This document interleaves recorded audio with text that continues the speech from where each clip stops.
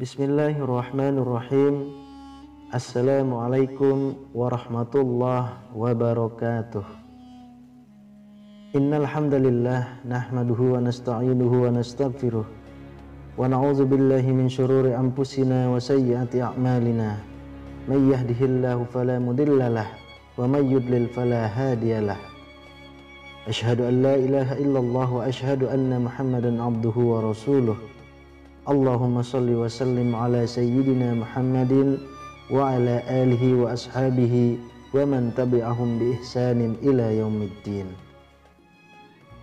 Syukur kehadirat Allah Subhanahu wa taala dengan nikmatnya dan hidayahnya kita dapat berjumpa lagi di channel ini. Salawat dan salam semoga senantiasa tercurahkan kepada Nabi Muhammad sallallahu alaihi wasallam yang telah menyampaikan agama yang sempurna kepada umat manusia. Semoga kita termasuk ke dalam golongan orang-orang yang selalu berpegang teguh dengan sunnah beliau hingga ajal menjemput kita. Amin ya rabbal alamin. Sahabat beriman yang dirahmati Allah, salah satu refleksi dari kecintaan seseorang kepada baginda Nabi Muhammad sallallahu alaihi wasallam adalah membaca solawat untuknya. Hal ini dipertegas dalam Al-Quran Surah Al-Ahzab ayat 56. Bismillahirrahmanirrahim. Inna Allah wa malaikatahu yusalluna ala nabi. Ya ayyuhallazina amanu sallu alaihi wa sallimu taslima. Sesungguhnya Allah dan malaikat-malaikatnya bersolawat untuk Nabi. Hai orang-orang yang beriman, bersolawatlah kamu untuk Nabi dan ucapkanlah salam penghormatan kepadanya. Sahabat beriman, bersolawat artinya jika datang dari Allah berarti pemberian rahmat, dari malaikat berarti memintakan ampunan, dan jika dari orang-orang mukmin berarti berdoa supaya diberi rahmat. Membaca solawat selain sebagai perintah secara langsung dari Allah Subhanahu wa taala juga memiliki banyak keutamaan yang akan kita dapat oleh orang-orang yang mengamalkannya. Namun sebelum lanjut dengan kerendahan hati saya mengajak Anda semuanya untuk bergabung di channel ini dengan cara menekan tombol subscribe dan menuliskan doa-doa dan harapan kalian di kolom komentar sehingga kita bisa amini bersama. Dengan begitu, mudah-mudahan harapan dan cita-cita kalian segera dikabulkan oleh Allah Subhanahu wa taala. Amin ya rabbal alamin.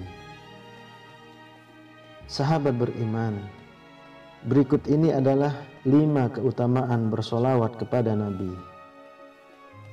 Yang pertama, dikabulkan doanya. Rasulullah Shallallahu Alaihi Wasallam bersabda, apabila salah seorang di antara kamu membaca solawat, hendaklah dimulai dengan mengagungkan Allah Subhanahu wa Ta'ala dan memujinya. Lalu bacalah solawat kepada Nabi, dan setelah itu barulah berdoa dengan doa yang dikehendaki. Hadis riwayat Ahmad, Abu Daud, dan Tirmizi. Lalu yang kedua, dijanjikan pahala yang berlipat.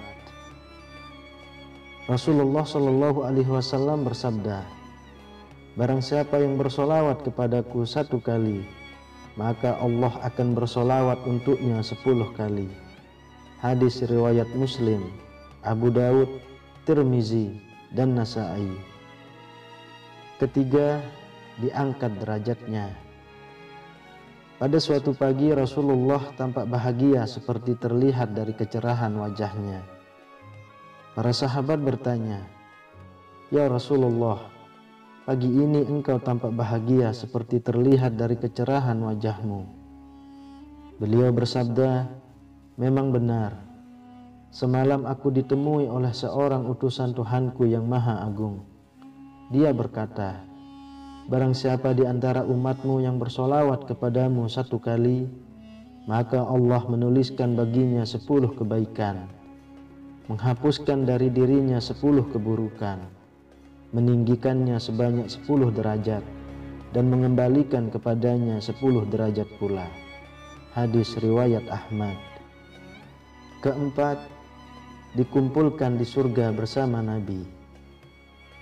Rasulullah Shallallahu Alaihi Wasallam bersabda, manusia yang paling berhak bersamaku pada hari kiamat adalah yang paling banyak membaca solawat kepadaku. Hadis riwayat Tirmizi. Kemudian yang kelima, mendapatkan syafaat Nabi. Rasulullah Shallallahu Alaihi Wasallam bersabda, sesungguhnya Orang yang bersolawat kepadaku satu kali, maka Allah akan bersolawat untuknya sepuluh kali. Lalu mintalah kepada Allah wasilah untukku, karena wasilah adalah sebuah tempat surga yang tidak akan dikaruniakan, melainkan kepada salah satu hamba Allah. Dan aku berharap bahwa akulah hamba tersebut. Barang siapa memohon untukku wasilah, maka ia akan meraih syafaat. Hadis riwayat Muslim. Sahabat beriman, itulah lima keutamaan bersolawat kepada Nabi Muhammad Sallallahu Alaihi Wasallam. Semoga Allah meringankan lisan kita semua untuk selalu membaca solawat kepada Nabi Muhammad Sallallahu Alaihi Wasallam dan meraih keutamaannya. Amin ya Rabbal Alamin. Demikian yang bisa saya bagikan. Semoga bermanfaat dan jangan lupa disebarluaskan dengan harapan membawa manfaat dan keberkahan bagi kaum muslimin yang mengamalkannya. Assalamualaikum warahmatullahi wabarakatuh.